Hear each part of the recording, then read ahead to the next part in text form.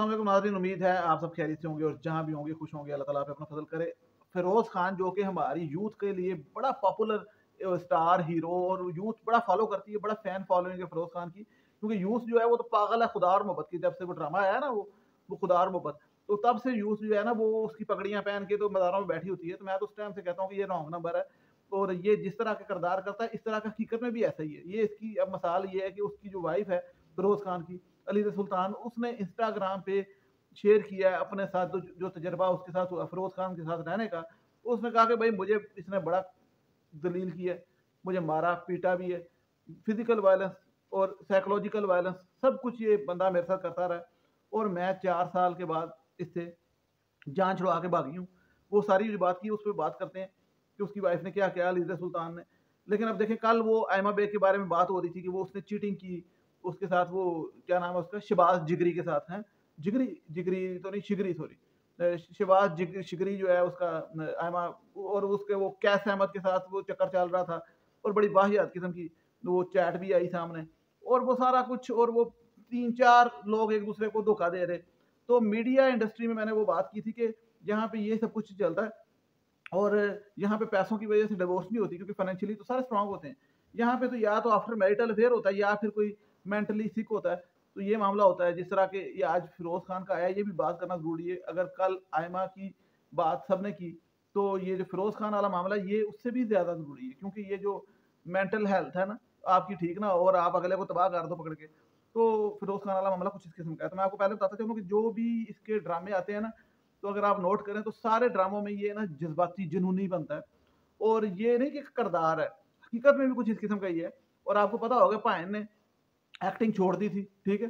कि मैं जो, किस लिए छोड़ी थी? कि मैं दीन की राह में निकल पड़ा, मैं एक्टिंग छोड़ रहा हूँ और बड़ी जल्दी इनको फिर ख्याल आया कि ओहो पैसे नहीं पूरे हो रहे, रोटी नहीं पूरी हो रही, पेट्रोल नहीं पूरा हो रहा बीको शिको रखी है जो भी डाले शाले थे पेट्रोल नहीं पैसे पूरे हो रहे तो ब्रांड श्रैंड सोचा के डाल लेता हूँ, वहाँ से कमाई हो जाएगी, लेकिन समझ आई, नहीं नहीं। फिर वो दोबारा वापस यू टर्न ले गए यू टर्न ये भी बड़ा लेते हैं। तो दोबारा आ गए कि चलो खैर है ये मैंने बयान दिया था, मैं ही वापस ले लेता हूँ। तो ये ना जुनूनी किस्म के बयान भी देते रहे और औरतों के खिलाफ भी देते रहे मतलब लड़कियों के जो काम करने के हक में नहीं है ये और अपनी आपको पता सिस्टर दिन की ठीक है? तो ये और ये लड़कियों ने काम नहीं करना चाहिए और लड़कियों के खिलाफ काफ़ी मतलब इनके जो है ना पॉइंट ऑफ़ व्यू वो काफ़ी दफ़ा बड़ा अजीब सा है मतलब बड़ा सख्त है और वो दीन के बात के बहाने जो है ना, वो सख्ती का जो पहलू और अपने घर में सिस्टम और है तो वो फिर जब इस तरह का मिक्स माहौल होता है तो फिर वो शादी भी जहरी बात नहीं चलती। तो अब जो हकीकत सामने आई है, वो ये बड़ी अजीब खौफनाक आई है कि उसकी वाइफ ने ये कहा है कि ये क्योस का रिलेशन था, चार साल जो गुजरे क्योस का टाइम था। मतलब बड़ा ही खौफनाक और दर्दनाक तो ये मैं आपके सामने शेयर भी कर रहा हूँ, ये जो उन्होंने स्टोरी शेयर की इंस्टाग्राम पे। और वो साथ लिखती है कि फ़िज़िकल वायलेंस भी करता रहा मेरे साथ इनके मारता पीटता भी रहा और साइकोलॉजिकल वायलेंस भी करता रहा और इतना अजीब घुटन का माहौल होता था घर में और इतनी सख्तियाँ, पाबंदियाँ, यानी कि जो आप एक खौफनाक शोहर से तस्वर कर सकते हैं ना, पाबंदियाँ मार पीट वो सब कुछ वो फिरोज खान से वो बर्दाश्त करती रही, उसकी बीवी को कहती है, मैं लिजा सुल्तान। और कहती है कि मैं अब जो फैसला किया है, वो अपनी औलाद की खातर किया है, कि मैं अपनी औलाद की खातर, उनकी वेल बींग उनकी बेटर फ्यूचर की खातर मैं इस बंदे से, इस खतरनाक आदमी से जान छुड़वाऊँ। और मैं जो है अपनी औलाद को परवरिश करूँ अच्छी, क्योंकि अगर उसके, इसके जेर सया रहे औलाद तो वो भी तबाह हो जाएगी और मैं तो होंगी होंगी। तो वो जो उन्होंने पूरा नोट लिखा है, वो बड़ा ही मतलब खौफनाक है। खौफनाक वो जिस ड्रामों में खौफनाक बनता है ना ये फिरोज खान, और बड़ा गुस्सा करता है, बड़ा जुनूनी, वैशी किस्म का। तो ये वैशी हकीकत में भी है। तो मैं तो ये, उस जब ये खुदा ड्रामा आता था ना तो ये माही माही करता फिरता था। तो अब वो लोग के करेक्टर था, करेक्टर नहीं था। क्योंकि इसके जो रियल में बयान आते थे और फिर वो अक्सर यू टर्न भी लेता था, अक्सर नहीं भी लेता था। और रियल में जो इसके बयान खासतौर पर औरतों के बारे में आते थे बड़े खौफनाक थे। और वो बड़े मतलब इस किस्म के थे कि उसमें कंट्रोडिक्शन ये थी कि अपने घर में सब कुछ हो रहा है तो बंदा सोचता था कि भाई, इतनी फिर सख्ती क्यों है? और फिर ये जो है ना ट्विटर पे ट्वीट्स करना, उधर से भी बंदा दादा लगा था कि इसका मैंटेलिटी किस तरफ़ को जाती है। तो खुदार मोहब्बत में, अब ये मैं आपको बात कहूँ कि हमारी जो यूथ है ना, वो अभी भी इसकी सपोर्ट करेगी, जो लड़के खास तौर पे, वो भी बेचारी अलीजा सुल्तान को सुनाएँगे, ये मैं बता दूँ। हो सकता है मुझे भी सुनाया कि नहीं भाई, तुमने हमारे फिरोज भाई को कुछ कहा। खबरदार, फिरोज भाई हम उसके फ़ैन हैं। फिरोज बड़े ट्विटर पर ट्रेंड श्रेंड चल रहे होते हैं। फिरोज के पीछे बड़ी दुनिया पागल है बस शुदाई हैं लोग। जिस तरह वो यूट्यूब पे डकी भाई के पीछे लोग पागल हैं। टीनेजर तबका जो आपका, वो टीनेजर डकी भाई डकी भाई I love you I love you हैं। और डकी भाई ने पूरे माशरे को गालियाँ सिखा दी और डकी भाई आई लव यू हैं। और उसके पीछे सारी दुनिया को दलील कर देते हैं। इस तरीके से फिरोज खान का भी मामला है। फिरोज खान से भी लोग मोहब्बत करते हैं खास तौर पर जब से खुदार मोहब्बत ड्रामा आया है।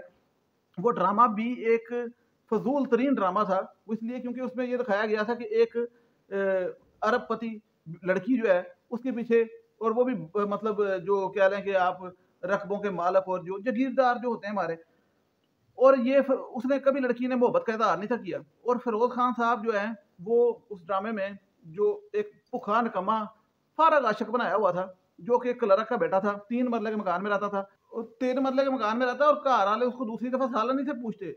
और अब्बा जो है वो कहता था कि ये मेरा खोटा सिक्का है ये बदतमीज आदमी है। और वो जो है ना वहाँ पे अपने मालकों के घर शादी पे वो टेंट लगाने गया था प्लेटें साफ़ करने मांजने। और वहाँ पे लड़की के पीछे हैं लड़की ने सिर्फ़ स्माइल करके बात कर ली। तो उस स्माइल को उसने समझा कि उस लड़की ने कह दिया कि will you marry me hero तो उस चक्कर में वो उसके पीछे चला गया पेंट और वहाँ जाके वो फिर दर, दरवेश बन गया और वो मज़ारों पर चला गया। उसके पीछे टिकटॉक पे आपका आधी यूथ मज़ारों पे बैठ गई जाके और फिरोज खान के गाने लगाए हैं, पीछे वो खुदार मोहब्बत के। मतलब उसको आइडियलाइज कर रहे थे उस ड्रामे को, उस चीज़ को।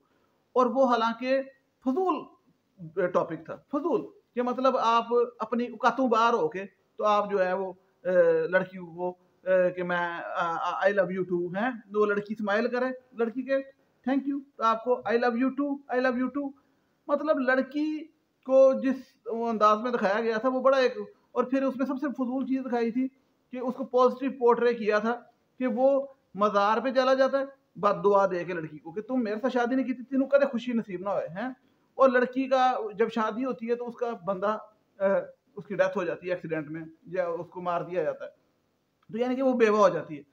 तो कहने का मकसद ये है कि वो जो कॉन्सेप्ट दिखाया गया कि लड़की बेवा हो जाती है, इसकी बात दुआ से पीर साहब की और फिर वो इसको टिकटॉक पे जितना वो किया गया ग्लैमराइज लड़कों ने, लड़कियों ने, कि मैं हैरान था।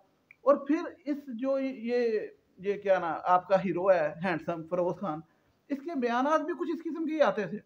तो ये इसके इंटरव्यू जितने भी सुने हैं, ये खुद बड़ा गुस्से वाला भी है और वो क्या कहते हैं, वो बायपोलर नहीं होते बायपोलर यानी कदे इधर कदे इधर, वो इस किस्म का तो अब इसकी वाइफ के जो बयान आए इससे ये साबित हो जाता है ना कि उसकी अगर आप फिरोज खान से मोहब्बत करते हैं तो उसकी वाइफ जो थी, ठीक है, उनकी बात पे भी यकीन कर रहे हैं लड़की है माशरे वो स्पोर्ट्स चाहती है, इसलिए उन्होंने बात की।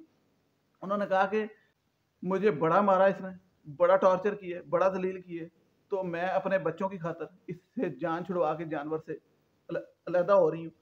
तो अब मैं हैरान इस बात पे हूँ, मैं कि लोग अभी भी फिरोज खान की साइड ले रहे हैं। खास तौर हमारी जो ये टिकटॉक टाइप यूथ है ठीक है? ये जो उर्तरुल कुरलस उस्मान देखती है ना, और डकी भाई को सपोर्ट करती है, और फिर फिरोज खान को भी सपोर्ट करती है। इस किस्म की जो यूथ है ना, वो कह रही है कि मारे या चंगा मारे होना, ठीक मारे होना, कोई गलती होनी होती है? दब के रखना तो इस किस्म की तो बात ये है, आप लोग जो व्यूअर हैं वो देख रहे हैं, जो लोग इस बात को समझते हैं कि इस इस इस मामले में डेफिनेटली ये फिरोज खान की असलियत अगर वो इस किस्म का है तो सामने आनी चाहिए आवाम के, कि अवाम जो फ़ैन होती है फ़ैन फॉलोइंग और पब्लिक फिगर के साथ मोहब्बत करती है, उनकी ड्रामे देख के एक्टिंग देख के तो उनको हकीकत भी पता होनी चाहिए कि हकीकत में बंदा कैसा है। तो उनको और उसकी, उसने वाइफ को मारा, पीटा, जो भी। अब मोहसिन अब्बास हैदर का आया था बीच में कि उसने अपनी वाइफ के साथ किया तो उसको बड़े लोगों ने जलील किया और उसको नौकरी से निकाल दिया, वो मजाकरात प्रोग्राम में आता था। हाँ मजाकरा आती था, चाहे दुनिया न्यूज़ में जो भी, उसने नौकरी से निकाल दिया। तो उसको बड़ा किया गया कि वाइफ बीटर है सब कुछ। हालाँकि बाद में चीज़ें थोड़ी सी कम्प्लेक्स हो गई थी कि उसमें दोनों तरफ़ से इल्ज़ाम लग रहे थे। लेकिन चलें, जो भी था वो हकीकत, उसमें मामले में फटाफट से एक्शन लिया गया। लेकिन यहाँ पे फिरोज खान पे इस किस्म के इल्ज़ाम लगे हैं कि ये अपनी बीवी को मारता है और बीवी ने खुद लगाया है। तो तो क्या उसकी बीवी की बात पे यकीन किया जाएगा? बहरहाल, इसके बारे में जो भी डिटेल्स होंगी नेक्स्ट वीडियो में बात करेंगे। फ़िलहाल आप लोगों से इतनी बात शेयर करनी थी कि ये इसकी वाइफ ने इंस्टा पे जो है वो स्टोरी लगाई है। उसकी वाइफ ने सिर्फ़ स्टोरी लगाई है इंस्टा पे और उन्होंने शेयर किया अपना जो मौकफ है क्योंकि वो दारी बात है फिरोज खान स्टार है, सारे उसको सच्चा समझते हैं तो वो उसकी वाइफ का मौकफ नहीं था और लोग सारे वो उसकी वाइफ पे इल्ज़ाम लगा रहे थे कि पता नहीं क्या मामला है। तो कईयों को ये भी होता है कि वो एमा की तरह वो कहीं उन्होंने इस किस्म का मामला तो नहीं है तो ये भी लोग बातें करते हैं तो इसलिए उन्होंने अपनी साइड पे बताया कि ये मसला था, ये बंदा मेरे साथ क्या करता है और मुझे तो पता था, मैं क्लियर करूँ, ये मुझे अंदाज़ा है था। और हर कॉमन सेंस वाले बंदे को पता होता है फौरोज खान किस किस्म का वैशी किस्म की मैंटेलिटी का आदमी मतलब जुनूनी किस्म का। तो बहरहाल, बाकी बात नेक्स्ट वीडियो में करेंगे। चैनल को सब्सक्राइब कीजिएगा बेल आइकन लाजमी प्रेस कीजिएगा। थैंक यू सो मच अल्लाह हाफिज़।